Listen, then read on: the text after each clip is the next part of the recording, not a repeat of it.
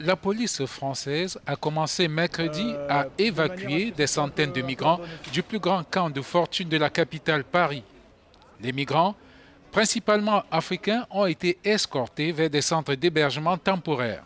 Il y a beaucoup de monde, on est autour euh, sans doute un peu moins de 2000 personnes, donc il n'y a pas eu d'afflux par rapport à ce qui était prévu, prévu et estimé.